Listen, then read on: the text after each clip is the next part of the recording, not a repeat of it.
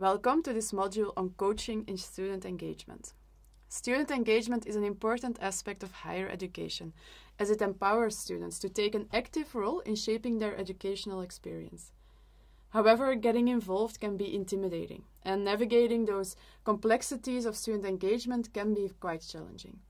That's where coaching comes in. By providing guidance, support, and feedback, a coach can help overcome obstacles, set achievable goals, and maximize the potential of students as a participant.